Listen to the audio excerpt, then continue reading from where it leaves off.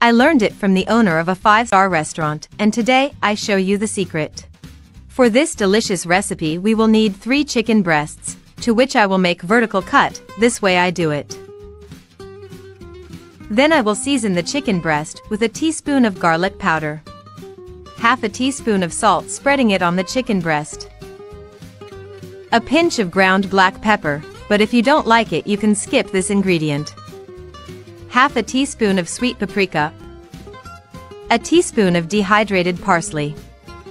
Finally, a tablespoon of olive oil and with my hands I will spread the seasonings on the chicken breast. Friends, these chicken breast are incredible and very delicious I recommend it. Take advantage of this moment and leave me here below what country or city you are seeing us, to thank you for seeing our recipes. Now in a pan I will add a little oil and place the chicken breast that I have seasoned to seal it well on both sides over medium heat.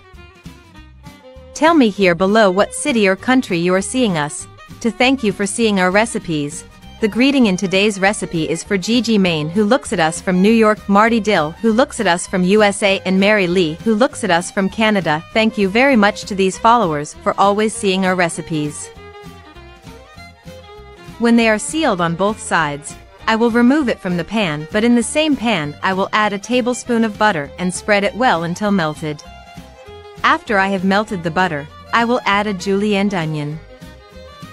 Also, I will add 3 crushed garlic cloves and fry these two ingredients for 3 minutes. While cooking fence, in a bowl I will add a tablespoon of mustard. 2 tablespoons of place sauce, do not forget to add it because this will help us to give color to the chicken breast. A tablespoon of honey. And this is how the mixture should be.